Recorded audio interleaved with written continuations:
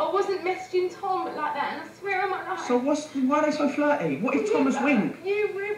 I I can't. Please don't put on these tears because you know I, I Not can't. putting on tears. I'm emotional, right? You think I don't I care about you? You think I don't love you? Do you understand? Yeah, but, I, yeah, but you're not doing it. I've done that to you. You think I didn't love you? I didn't care about you. You made me sit there and you didn't even say it's okay, Rick. You walked out of the table. you were guilty. And then, but now I think you're guilty. So what do you want me to do? Just listen. He's just said you look hot in your picture. What that you you want me asked him to like. What do you want me to eh? Like a normal friend. Oh, thanks, Tom. Appreciate it. Thank you. Not Because he's flirty, and I don't like the fact that he's. He's flirting with you and you said Thomas Wink. You fully Wink. That is saying, oh, Thomas Wink. You're a flirtatious young boy. You're Yes, just since I've been with you, I haven't. If Lauren ever went to me, oh, Rick, you look hot, I wouldn't go, Lauren, wink. Because you don't talk I'd go, I'd go, thank you. You don't You don't fucking, yeah, well, you certainly talk to Tom. Don't make me out to be bad, because if you really feel like that, then you'd walk away.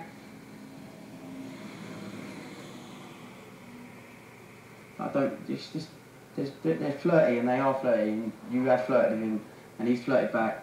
And whether there's nothing in it or not and you don't like him, I know you don't. I know you don't. But it's the fact that you have done it and it's made me feel fucking worthless. Like, why? Okay,